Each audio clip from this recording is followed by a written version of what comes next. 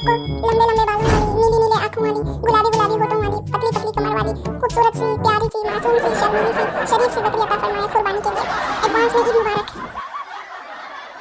Hassan Foreign Vlogs.